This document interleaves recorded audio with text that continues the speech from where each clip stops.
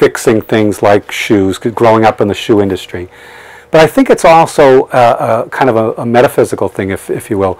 Uh, I'm using my head all day long in court. On the weekends, I'm using my hands. It's that therapy of doing something with your hands. So I, I think it's that balance that has, has served me well. And uh, when I'm kind of overloaded with the legal stuff and I do this, it, it just, it, it, it, I'm able to digest whatever that is that I gotta digest in my head, and vice versa. When I'm, not that I ever get tired of the shoes, I don't think, think I work here long enough. Going back to the legal stuff, it's kind of going back and forth, that variety uh, makes a nice uh, combination, a nice mixture. Soles, heels, men's shoes, especially men's boots.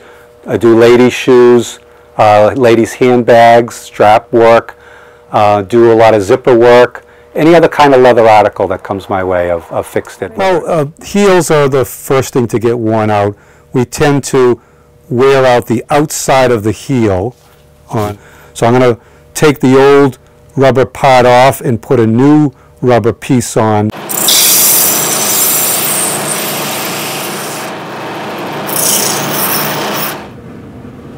Good. I've glued on the heel to the base of the lady's shoe.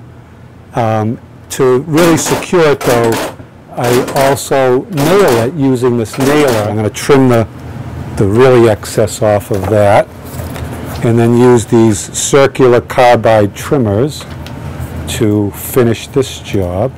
So my experience, people just don't know cobblers exist anymore.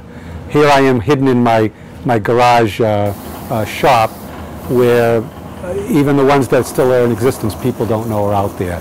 Uh, there's three cobblers left in Worcester that I know of, yet if you ask somebody on the street, I bet you they don't know any of them, right? And once they find out, some of them are inclined to, to get something fixed. We have so much stuff, all of us here, especially in this country, that I think it's uh, I think it's a good thing, especially the things we like, and this woman clearly likes her her um, dress shoes to just keep them going and just to